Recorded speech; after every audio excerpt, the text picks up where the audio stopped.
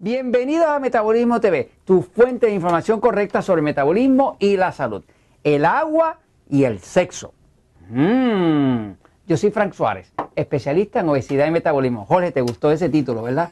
Admítelo, admítelo, admítelo. Me- me tomó admítelo. por sorpresa. Te, tomó por sorpresa, ¿verdad? Te cogí eso. A mí me encanta cuando yo le sorprendo a Jorge, ¿no? Sí, sí, porque yo no le digo qué título voy a hacer. O sea, eh, Jorge, Jorge, te vi impresionado. Te, te, te impresionaste. Estoy interesado. Saluda, Jorge, saluda, saluda, saluda, saluda. Ok, está bien. Ya Jorge saludó. Ok, muy bien. Entonces, vamos a hablar del agua y el sexo. Es un tema así fascinante. Yo sé que a la mayoría de ustedes no les interesa este tema para nada, pero siempre habrá alguien que le puede interesar, ¿no? Ok, voy a la pizarra un momento. Fíjense, el agua tiene todo que ver con la sexualidad. Tiene todo que ver con el metabolismo y con la sexualidad también. La sexualidad es parte del metabolismo. Cuando una persona tiene sobrepeso, o tiene una diabetes descontrolada, pues se le va a afectar su sexualidad. Voy a empezar por decir que todos nosotros somos seres integrales. Por lo tanto, todas las piezas tienen que funcionar.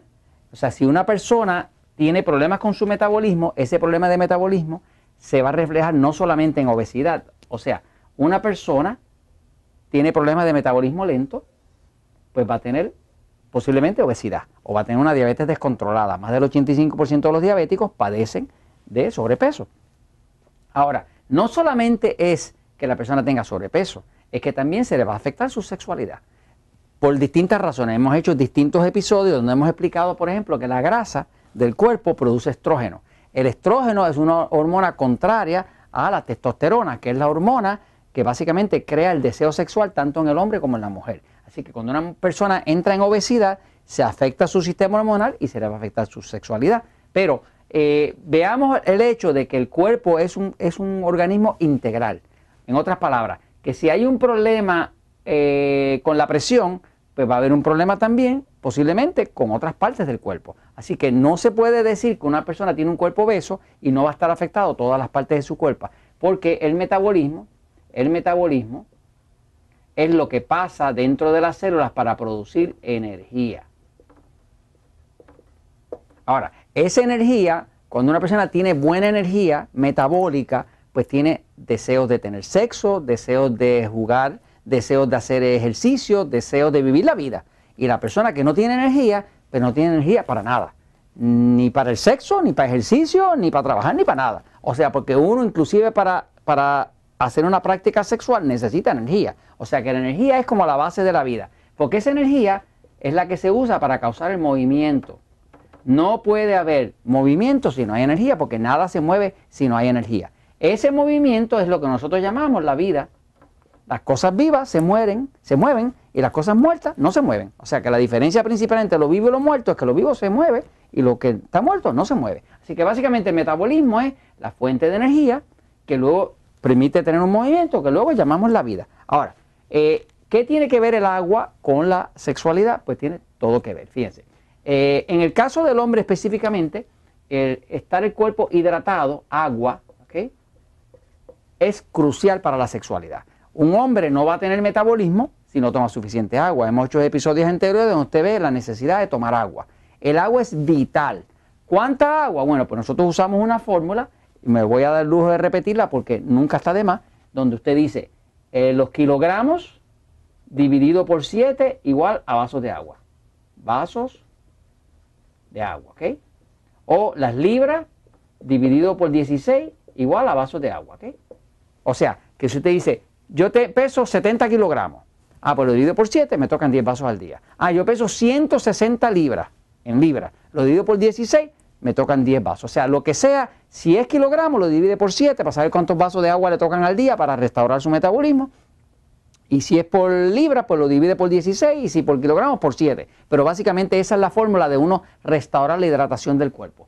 La mayoría de la gente no se toma suficiente agua para restaurar el metabolismo y muchos van a tener problemas de tipo sexual porque la sexualidad tiene que ver con la función de energía del cuerpo. Es una de las actividades normales que Papá Dios nos dio, que se pueden usar y que se deben de usar, pero uno tendría que tener el cuerpo hidratado para poderlo usar. ¿Qué pasa? En el caso del hombre en específico, el sistema sexual del hombre eh, es un sistema hidráulico. El hombre tiene una idea, una idea acá arriba de la cabeza, se entusiasma con algo y cuando se entusiasma con algo envía un mensaje eh, por el sistema nervioso y el miembro sexual se excita. Cuando el miembro sexual se excita, que es el pene, pues el pene se llena de sangre. La sangre es 94% agua, la sangre humana. Es 94, el otro 6% son proteínas y demás que hay ahí. ¿no? ¿Qué pasa? Un hombre que está deshidratado va a tener la sangre bien espesa.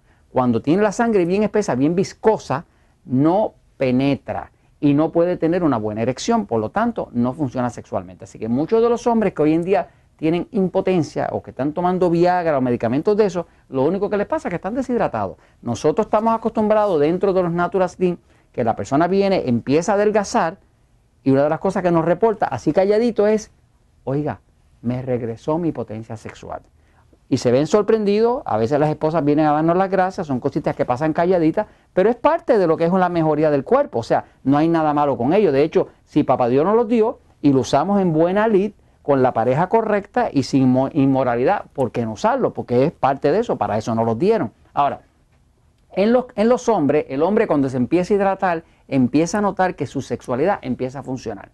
Ya no tiene una erección que se le cae seguida, este, eh, tiene durabilidad, tiene potencia y puede funcionar. Pero un hombre deshidratado no va a poder funcionar. En la mujer pasa igual. La mujer necesita lubricarse. Si la mujer no se puede lubricar, pues le va a doler. Si le duele, no lo va a querer.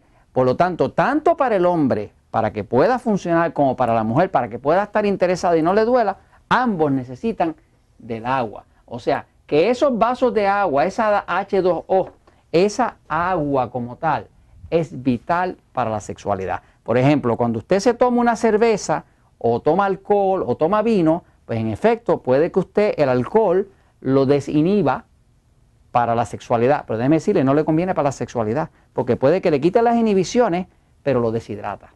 Así que el alcohol puede que le quite las inhibiciones, pero no le va a dejar funcionar después en la cama. Y eso no le va a funcionar, no le va a quedar bien la peliculita, ¿no? Así que básicamente es importante que tome agua. ¿Cuánta agua? Pues ya sabe, los kilos de su cuerpo dividido por 7 o las libras de su cuerpo dividido por 16 le da cuántos vasos de agua. Así que eh, salud con el agua y buena sexualidad. Y esto se los comento pues porque la verdad siempre triunfa.